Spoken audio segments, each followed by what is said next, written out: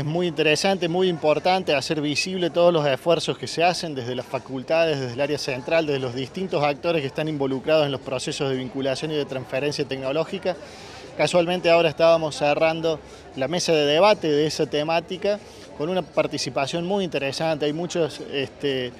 eh, mucho interés en, que se promueva la vinculación y la transferencia tecnológica, el desarrollo de empresas de intensivas en conocimiento de base tecnológica como herramienta para promover el desarrollo de un territorio, de generar empleos de, calidad y para que sobre todo los conocimientos, las tecnologías, todos los desarrollos científicos tecnológicos que surgen dentro de la universidad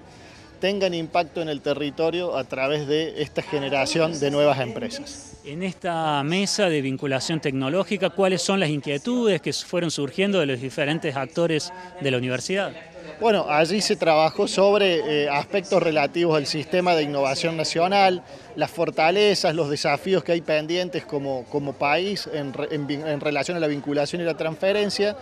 Después bajamos a, nivel de nuestra universidad trabajando sobre algunos desafíos que tenemos y herramientas que se han ido creando justamente para promover eh, esta vinculación y transferencia de tecnología.